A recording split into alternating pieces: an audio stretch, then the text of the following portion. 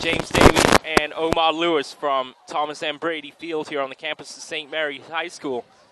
And we've got a good one going here. 14 7. And the Panthers are going to go for it here on fourth down. They send Philip in motion. Three receivers out right side. Flemer with time. Passes complete and a touchdown. Lorenzo Logwood in for the touchdown.